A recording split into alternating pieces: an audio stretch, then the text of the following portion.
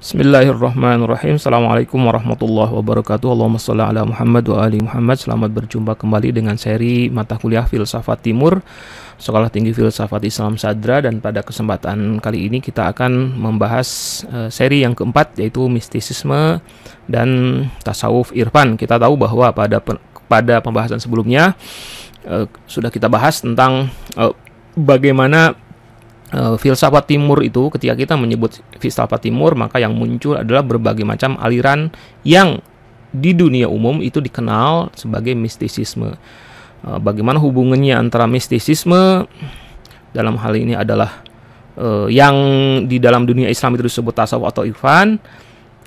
Bagaimana hubungannya antara mistisisme, tasawuf dan irfan ini dengan filsafat? Ya, kita akan membahas sekilas dan uh, pertama kita akan melihat apa itu mistisisme dan tasawuf. Secara umum mistisisme dan tasawuf memiliki makna yang sama, itu sebuah pemikiran tentang cara memperoleh pengetahuan tentang Tuhan atau makrifat ilahiyah yang diperoleh melalui meditasi atau latihan spiritual lainnya.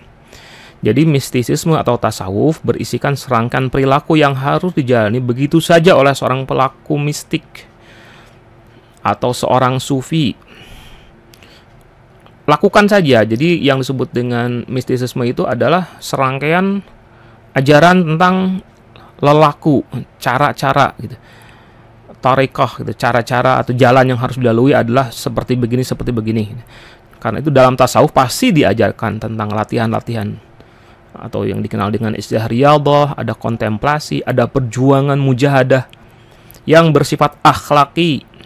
Karena perjuangan itu misalnya diawali dengan uh, tahal ta, tahalli dulu kemudian uh, tahalli kemudian tajalli diawali dengan penyucian jiwa menghilangkan atau menjauhkan diri meminimalisir se uh, rendah mungkin uh, perilaku-perilaku buruk perilaku-perilaku yang jatuh kepada hal yang haram dan hal yang syubhat gitu.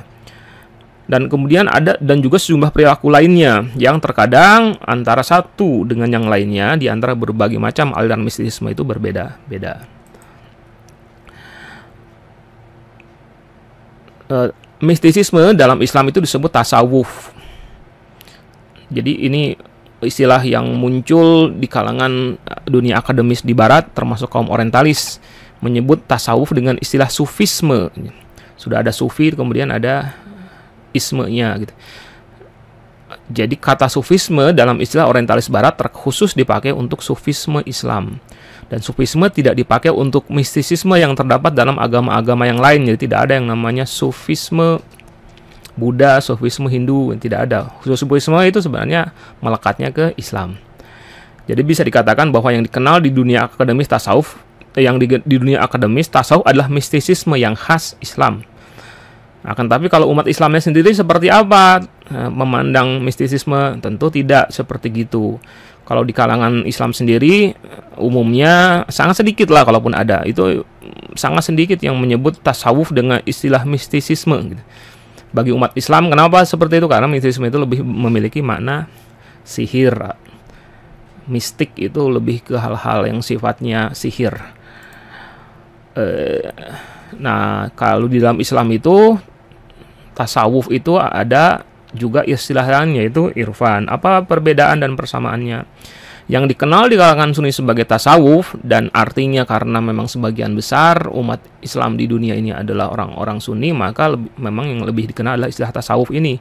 Tapi di kalangan Syiah yang di dunia secara umum eh, termasuk yang eh, jumlahnya lebih kecil dibandingkan dengan orang-orang Sunni, itu yang lebih dikenal adalah istilahnya adalah irfan. Akan tapi maksud irfan itu yang sama seperti tadi itu, sama seperti yang mistisisme di dunia yang berlaku di dunia secara umum. Sama-sama menitik beratkan pentingnya marifat kolbu terhadap Tuhan sebagai esensi penghambaan. Keduanya juga antara filsafat dan eh sorry antara irfan dan tasawuf ini sama-sama mengajarkan sejumlah cara untuk meraih marifat kalbu tersebut. Kalangan Syiah kenapa lebih memilih istilah irfan ketimbang tasawuf ada sejumlah alasan tapi yang utama adalah karena stigmanya saja yang buruk gitu. tapi ini hanya berlaku khusus di kalangan uh, uh, komunitas yang memang kaum orang orang-orang syiahnya sudah menjadi uh, menjadi mayoritas seperti di Iran, di Irak, mereka punya stigma yang buruk terhadap yang namanya tasawuf. Karena apa? Karena dilekatkannya kepada sebagian kelompok sufi yang pada kurun waktu tertentu di zaman dulu pernah punya rekam jejak kurang bagus atau dianggap melakukan penyimpangan. Ini tidak akan kita bahas di kesempatan kali ini. Uh, makna irfan itu sendiri berasal dari kata kerja arofa. Ini saya me mencoba menyampaikan pembahasan mengenai tasawuf atau mistisisme itu dari sisi da dengan melalui pendekatan irfan uh, dari makna irfan karena ini dianggap sang uh, lebih mampu untuk menjelaskan makna tasawuf dan mistisisme ini. Nah, irfan ini berasal dari kata kerja arofa yang secara umum bermakna ilmu dan pengetahuan dan yang dimaksud dengan pengetahuan di sini adalah pengetahuan atau makrifat terhadap zat Allah. Jadi istilah irfan itu merujuk kepada makrifat dan pengetahuan seorang hamba terhadap Allah. Seorang yang menempuh jalan irfan adalah orang yang berperilaku atas dasar makrifatnya kepada Allah, baik dari sisi motivasinya, jadi motivasinya itu dalam rangka untuk mempertebal e, makrifat yang dimilikinya terhadap Allah, maupun dari sisi tahapan-tahapan pencapaiannya. Ada fase-fase yang harus dilalui, dan setiap fasenya itu terkait dengan uh, semakin tingginya makrifat dia kepada Allah. Nah, dalam tradisi logika Islam, makrifat itu makrifat atau ilmu itu terbagi menjadi dua. Ada makrifat husuli dan ada makrifat huduri. Makrifat husuli bermakna makrifat yang dapat yang didapat melalui perantaraan, sedangkan makrifat huduri diperoleh tanpa perantaraan. Jadi tidak perlu berpikir lagi karena tanpa perlu ada perantaraan lagi gitu. Karena kalau yang hudur itu adalah makrifat yang didapat tanpa melalui cara-cara tertentu.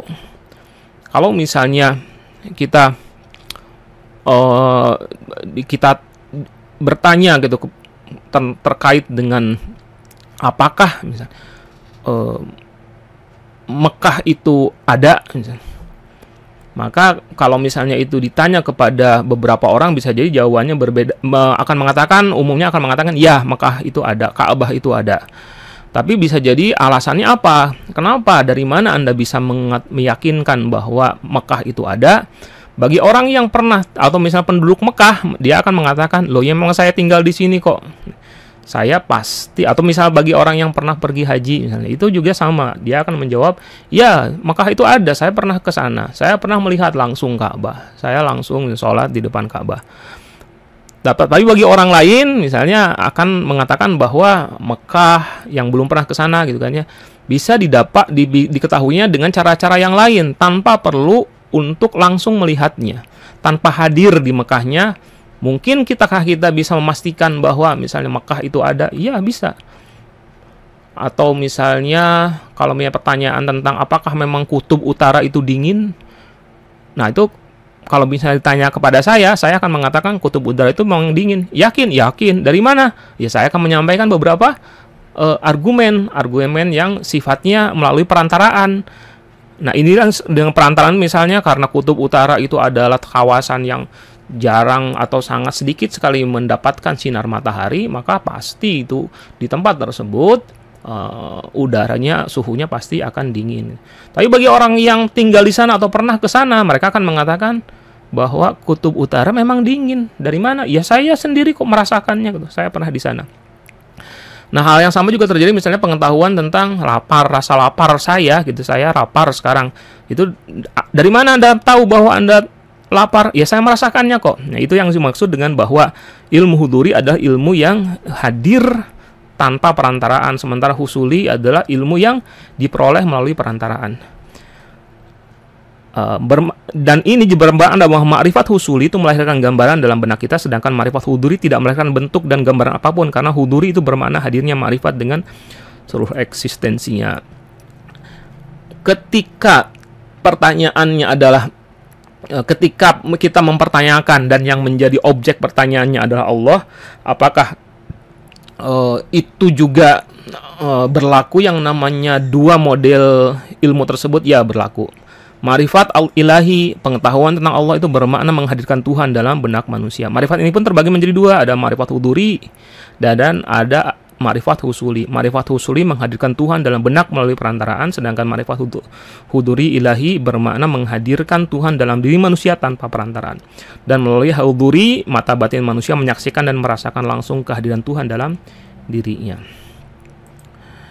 Nah, marifat huduri tentang Allah itu bermakna bahwa manusia setelah menempuh sejumlah jalan dan sesuai kapasitas wujudinya, ia bisa menyaksikan kehadiran hakiki Allah, asma, sifat, dan perbuatannya. Dan jalan yang ditempuh untuk sampai kepada marifat huduri ini itu bukan jalan bukan jalan rasional, bukan secara akal. Ada jalan-jalan tertentu yang disebut dengan sair wasuluk. Tentu saja jalan tersebut hanya bisa ditempuh setelah manusia memiliki pengetahuan tentang hal tersebut. Ada pengetahuan, akan tetapi pengetahuan terkait dengan jalannya. Jalannya adalah ini loh. Akan tetapi bagaimana gitu itu bisa terjadi gitu. Apa hubungannya antara sholat malam dengan me melihat Allah serah Apa hubungan antara puasa? Gitu. Apa hubungannya dengan nah itu adalah sesuatu yang uh, uh, kalau dihubungkan dengan makrifat huduri maka itu adalah makrifat yang diperolehnya tanpa melalui perantaraan eh, rasionalitas. Gitu. Nah, tiap manusia atau makhluk sebenarnya memiliki makrifat huduri tentang Allah. Hanya saya terkadang dia tidak mengetahui keberadaan makrifat ini. Namun dengan memperoleh pengetahuan rasional dan menempuh jalan praktis yang terpercaya, setelah bersandar pada wahyu ilahi, manusia bisa menyingkap tirai kelalaian. Ini kalau dalam uh, mistisisme, dalam uh, tasawuf atau irfan, istilah kelalaian ini akan sangat sering di akan sering muncul, akan sering disebutkan bahwa ini urusannya adalah urusan menyingkap kelalaian, uh, menyingkap tirai kelalaian yang uh, membuat kita menjadi tidak menyadari kehadiran Tuhan. Gitu. Menyingkap kelalaian dari hatinya sehingga hakikat tersebut menunjukkan dirinya dengan jelas kepada manusia. Secara istilah marifat ini disebut ilfan praktis atau ihwan amali yang merupakan buah dari amalan-amalan khusus lahiriah dan batiniah. Apa yang terjadi pada seorang yang telah menjalani irfan amali itu adalah hal-hal yang sebenarnya hanya dirasakan oleh pelaku irfan. Ketika apa yang terjadi pada pelaku irfan amali itu dideskripsikan atau diterjemahkan ke bahasa ilmiah, maka deskripsi tersebut dinamakan irfan naldori atau irfan teoretis. Jadi dalam Irfan Naldori terdapat upaya menjelaskan semua yang dilihat dengan mata hati oleh para pelaku Irfan amali menggunakan bahasa akal. Jadi yang disebut dengan Nalbori itu hanya mendeskripsikan sebenarnya. Oh ini loh yang terjadi dan kemudian dia menetapkan oh kenapa itu bisa terjadi karena seperti gini. Tapi itu dilalui oleh pengalaman dia, nah, pengalaman seorang sufi, seorang arif tersebut uh, terhadap apa yang dia uh, terkait dengan uh, makrifat ilahi itu. Dan ini berbeda dengan filsafat yang ditulis dengan suatu bahasa, itu bahasa akal, dan tidak ditelah dengan bahasa yang sama. Ya ditulisnya oleh akal semuanya gitu melewati berbagai premis gitu. Premis by premis yang filsafat seperti itu seandainya tapi Irfan Noldori itu tidak gitu kan. Irfan Noldori itu itu berdasarkan kepada pengalaman yang bukan bahasa akal akan tetapi disampaikan kepada manusia kepada orang lain dengan bahasa akal. Nah, para filsuf itu berusaha menjelaskan argumen tentang keberadaan dunia, membuktikan kebenaran alam semesta, serta hukum-hukum umum yang berlaku di alam ini melalui akal dan penalaran deduktif. Itu ya, filsuf itu seperti gitu. Jadi perbedaan antara irfan dan filsafat itu eh, filsafat dari sisi metode seperti gitu. Sedangkan irfan atau tasawuf hanya mendeskripsikan apa yang disaksikan. Irfan Naldori tentunya ya yang disaksikan oleh seorang arif atau sufi dari kesaksian batiniahnya. Dalam irfan memang ada penalaran dan akal, akan tetapi penalaran itu digunakan untuk mengkonfirmasi dan melakukan analisis deskriptif, bukan mencari tahu bagaimana yang ia saksikan itu bisa ada. Juga bukan untuk mencari tahu mengapa yang ia saksikan itu memiliki sifat-sifat tertentu dan lain sebagainya. Nah, ini adalah sangat penting yang di sini nih poin ini bahwa nilai filsafat dan logika dari tasawuf atau irfan adalah bahwa meskipun secara substansial berbeda dengan filsafat, tasawuf irfan memiliki sejumlah nilai filsafat dan logika sehingga uh, bahwa pembahasan tentang berbagai macam aliran-aliran mistis, ya, mistisisme di, di dunia timur itu bisa dikategorikan sebagai pembahasan filsafat dan layak untuk dibahas di mata kuliah ini. Gitu. Dari sisi bahwa pertama, bahwa filsafat logika memiliki peran paling fundamental dan peran ini tidak bisa digantikan. Dalam hal apa? Dalam membuktikan keberadaan makrifat ilmu huduri yang menjadi basic dari perilaku tasawuf atau irfan itu. Jadi kan di sini ada epistemologi kan yang terkait dengan eh, bagaimana kita bisa tahu bahwa Tuhan itu ada, tapi itu epistemologinya itu tidak melalui uh, deduktif secara deduktif. Tuhan bisa dikenal nggak secara deduktif? Iya bisa, bisa dikenali gitu. dengan wajibul wujud misalnya itu kan deduktif itu sifatnya, atau dengan uh, uh, penjelasan dengan uh, melihat keteraturan alam semesta seperti yang sudah dibuktikan oleh para teolog Muslim ya, itu adalah logika. Akan tetapi ketika pertanyaannya mungkinkah Tuhan ini gitu ya bisa di uh, marifat tentang Tuhan ini bisa diperoleh tidak dengan logika, akan tetapi dengan sesuatu yang lain, dengan intuisi misalnya, dengan apa, dengan dengan perilaku-perilaku uh, sufisme, dengan perilaku-perilaku irfan, bisakah itu di, ditetapkan? Maka pembahasannya itu adalah pembahasan akli, pembahasan uh, falsafi. Ya, pembahasan bahwa yang namanya oh, ilmu huduri yang menjadi basic dari perilaku tasawuf irfan itu memang ada. Ingat ya bahwa ada sebagian kelompok khususnya uh, para filsuf barat yang materialistis yang materialistis itu mereka menolak yang namanya keberadaan ilmu huduri gitu, terkait dengan Tuhan khususnya. Kemudian yang kedua adalah bahwa prinsip-prinsip filsafat logika sangat penting untuk mengidentifikasi mana di antara jalan tasawuf itu sebagai jalan yang benar atau bukan.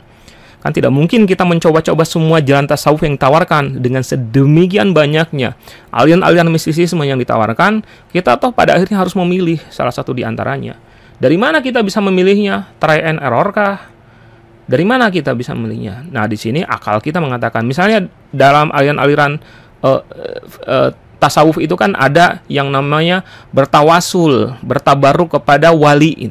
Dari mana kita bisa menentukan bahwa uh, si A ini adalah memang betul-betul wali yang kalau kita bertawasul kepadanya maka kita akan berada di jalan yang benar dari sisi sair wasuluk.